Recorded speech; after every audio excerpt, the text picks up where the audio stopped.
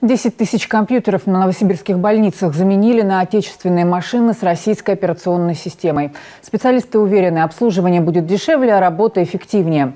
Пока обновили только треть компьютеров. Когда заменят остальные и что думают медики о работе на новых машинах, узнала Анна Братушкина.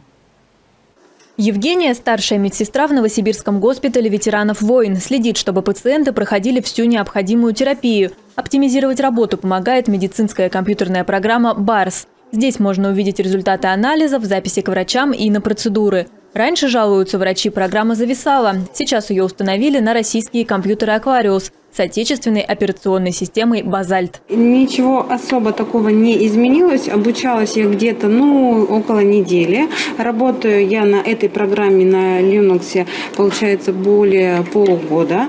Вот, программа устраивает. По всей области уже 10 тысяч зарубежных компьютеров заменили на отечественные. Это около трети машин. В первую очередь э, следует сказать о безопасности.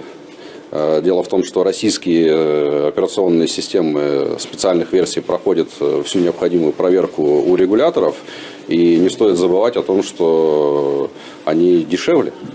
И дешевле значительно, чем программное обеспечение Microsoft, которое привязано, как известно, к курсу доллара. Работать на новых компьютерах с новым программным обеспечением врачей и медсестер обучали специалисты из регионального министерства цифрового развития и связи. Медики освоили технику за несколько дней, не оставляя основную работу. Пациенты перемен даже не заметили. Все работает эффективно. Особенно в настоящий момент это надежность, быстродействие, удобный интерфейс, э, не знаю, удобный экран, удобный экран, удобное цветоощущение. То есть никаких проблем у нас нет. Замена одного компьютера обходится примерно в 100 тысяч рублей. В министерстве полагают, что все машины в медучреждениях обновят за этот и следующий год.